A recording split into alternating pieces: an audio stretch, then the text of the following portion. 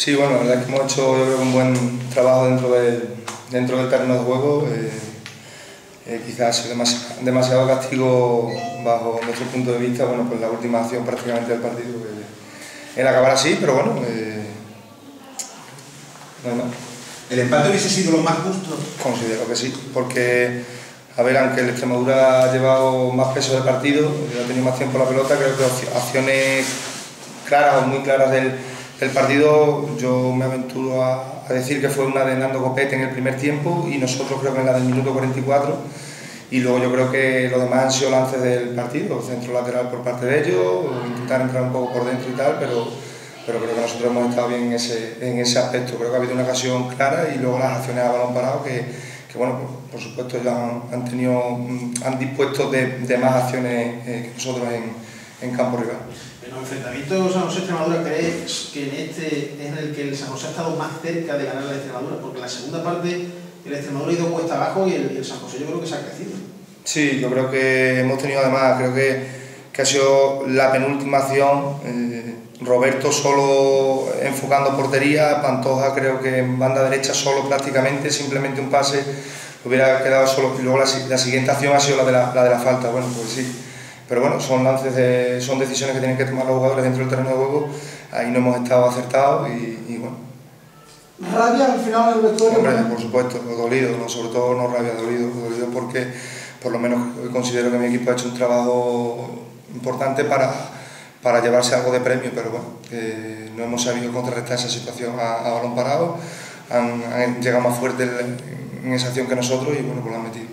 Dentro de toda esta tristeza, pana, del San José, hay que sacar también algo positivo ¿no? y de alegría, ¿no? porque se le ha competido de tú a tú al, al Extremadura. ¿no? Bueno, pero a ver, al final lo que queda es el resultado. ¿no? Eh, nosotros no estamos contentos con nuestro trabajo. Eh, la situación yo creo que es la misma que, que tiene el, equipo en el, en el vestuario. Eh, es de dolor, ¿no? porque bueno, hemos tenido nuestras opciones, como bien vosotros habéis, habéis comentado. hemos estado cerca, creo que en el tramo final hemos estado cerca de llevarnos el partido a nosotros.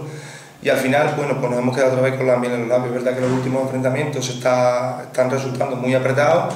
Eh, es una acción puntual. Nosotros queremos recordar que en la ida, bueno, pues yo creo que en el control que hace, creo que fue Carlos Rubén, eh, cuando hace el control oriental lo hace con un poquito de mano. Eh, pero bueno, hubo un rebote y el disparo de Pablo Carmona y al final también, bueno, pues la verdad es que sí, que son partidos muy igualados y nos queda ese dolor de que, de que siempre por un pequeño detalle se nos escapa a la hora de decidir en un derby como el de hoy, eh, teniendo en cuenta las comparaciones que hay entre un club y otro y, los, objetivos que tiene cada club, ¿consideras en cuanto a la actuación arbitral que os, ha ido dominando? Desproporcionada totalmente. Yo, hombre, a ver, nosotros no vamos a, o por lo menos el entrenador de San José no va a culpar al árbitro de, haber perdido, pero sí es verdad que, que ha habido situaciones muy complicadas y muy comprometidas que ha dejado que el partido se llevara y luego ha habido muchas acciones, sobre todo en nuestro campo, en las cuales pues, pues creo que no nos han medido con la misma vara de medir, inclusive después del gol ha habido, yo por lo menos he visto algunas acciones de, mano de, Carlos Valenzuela, por lo menos una falta al borde del área. Y creo que también ha pasado que no ha intervenido, bueno, pues, pues este, a ver, también nos queda quizás ese, esa rabia como habéis comentado, pero sobre todo los bueno, pues no, han pasado, no vamos por lo menos el entrenador San José no va, no va a hacer ningún respeto sobre la decía yo que lo importante ya no el siguiente, ya no este. En el momento que los jugadores estaban ahí con él, que podía venir alguna tarjeta innecesaria. Es que, a ver, el tema de tarjetas, yo creo que también, creo que no hemos, tres, no he visto la acta, no sé si habrá habido luego, habrá pasado alguna historia. Carmona, por un hombro con hombro en, en el vértice del área, del área contraria y, y amarilla, una acción de Diego Pantoja, otra amarilla y la protesta de Diego, otra amarilla.